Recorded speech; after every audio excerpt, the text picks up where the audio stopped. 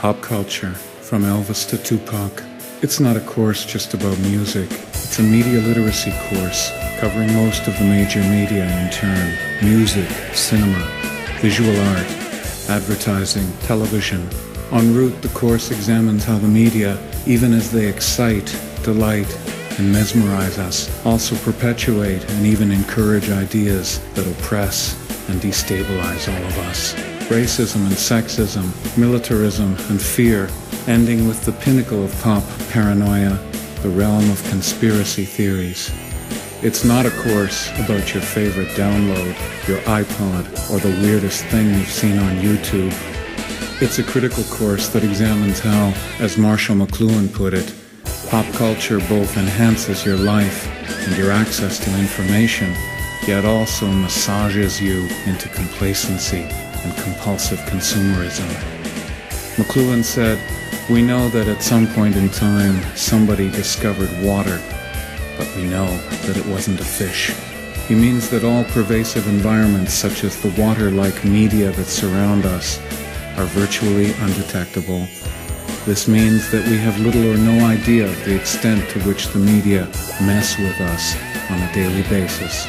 Pop culture, as a political course, addresses the perennial truth that, in addition to this massage, popular culture has, since at least the time of the Romans, had a primary and well known political purpose to distract and appease the common man and woman.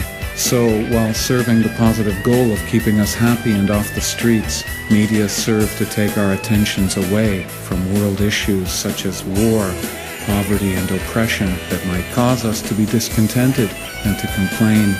Knowing and truly understanding these critical world issues would keep us away from our primary purpose as citizens, to work and to consume. Thus, pop culture does not inform, it merely entertains.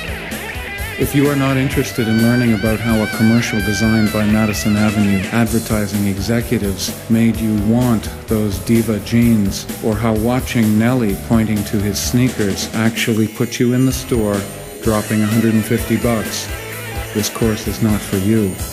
If you disagree with the obvious truth that Hollywood and television have fostered racism, sexism, militarism, classism, and conspicuous consumption right from their very beginnings, perhaps this course is not for you. If you are interested in exploring in depth and writing a passionate essay about one of the great icons of our culture, such as Tupac, or Kennedy, or Marilyn Monroe, Martin Luther King, or Oprah Winfrey, her semiotic symbolism and meaning, her impact, and her effect on your own life, then pop culture is for you. Pop culture, from Elvis to Tupac, it's not a course just about music.